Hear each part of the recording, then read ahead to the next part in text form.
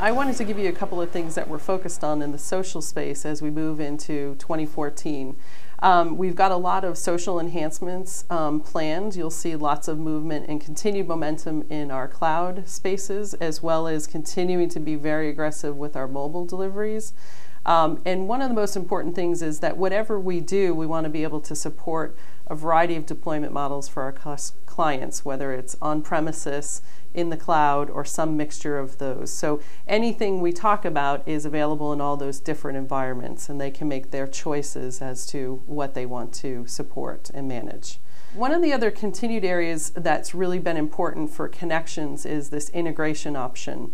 Um, integration helps with adoption. Um, and so one of the things that we want to be able to do is bring social to people in the tools they're using, but then also bring uh, integration points where we can move business process elements into the social experience. So you'll see continued integration with things like our Connections Content Manager work, bringing document management into the social space. You'll see us integrating with our exceptional digital experience so that you can create portlets so that you have access to social data.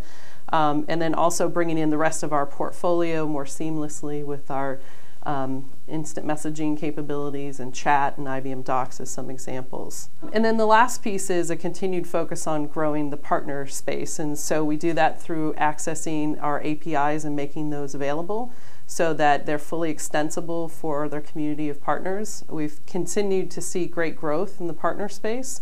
Um, and we expect to see even more as many of them start to look at doing solutions for the cloud like they've done for on-premises for those customers that have made a decision to stay with a on-premises based version of connections, many of them want to bring that collaborative nature and um, extend that to people that sit outside their organization. And so we're building something called external collaboration, which means I can invite someone that sits outside my organization. My company makes the determination as to, you know, is that individual been approved to come into our organization?